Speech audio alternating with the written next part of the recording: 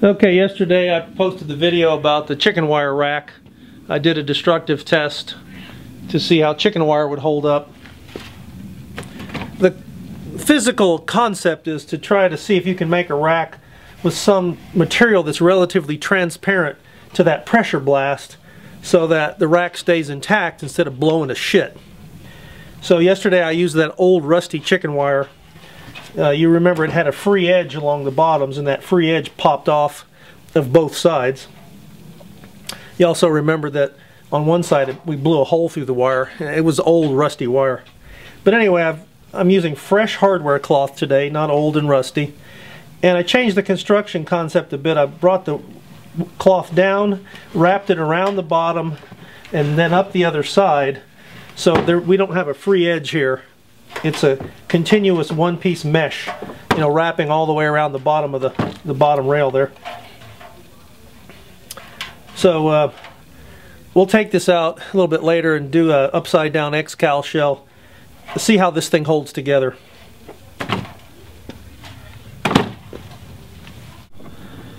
Okay, here's the hardware cloth rack ready for its destruction test. Same as yesterday, I've got the uh, X-Cal in there upside down with a Talon clip. This, uh, as I showed on the first part of the vid, the hardware cloth goes all the way around underneath and up the other side. On this test, I'm going to put a couple of pieces of plywood on either side of this rack. Not hard up against it, but about a foot away, just to catch any stars that might come flying out. It's a lot drier today with a a dry north wind. I don't want to have to fool around with too many fires.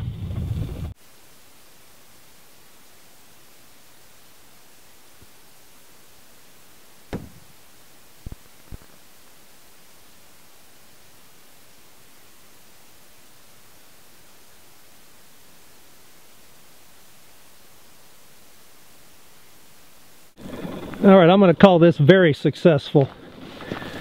Obviously, the the wire gave way there. There's a hole and that top rail.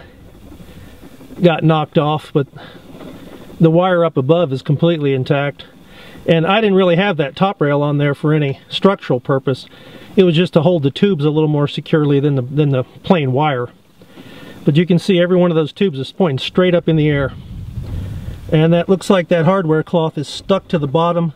It didn't flip off the bottom rail it just gave way right adjacent to the tube that exploded and kept all the tubes completely intact. I think this is just spectacular.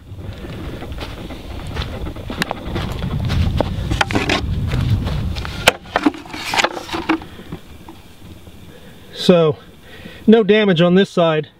And I noticed yesterday that hole that blew out of the chicken wire, you know, it blew out where on the same side as the tube blew out. And that happened here today. I don't know if you can see it very well, but that uh, that tube is blown out right adjacent to that hole in the wire. But look at that, completely intact. I think if you had that rack chain fused, every show would go up no trouble. All right, let's get a better look at this. There's where the tube blew out, and there's actually the shell right there. The wire gave way completely intact along the bottom here. Unlike in the chicken wire where the free edge flipped off, this is completely attached all the way around. No staples blew out. Just a little bit of wire right here adjacent to the tube blowout. Top rail popped off. As I said, I'm not too concerned about that. That was just there to keep the tubes in position this way. It wasn't really there for any structural purpose. Rocky, go on, take off. All right, there's the other side. Completely intact. It's got a little bulge in it, but that's all. And the wire wrapping all the way around underneath. I think that's really what held it all together. This is exactly how I picked it up out in the field, so you can see all the tubes are pointing straight up. I'd say that's a pretty good rack design. It's a minor pain in the ass to deal with this hardware cloth. You know, when you cut it with the tin snips, you get these little sharp points here you have to deal with.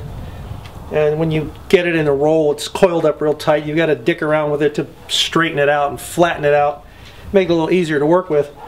But those are minor inconveniences. I think that's a really good deal. I don't know if anybody wants to do it or not, but I, I think I'm going to make a few more of these.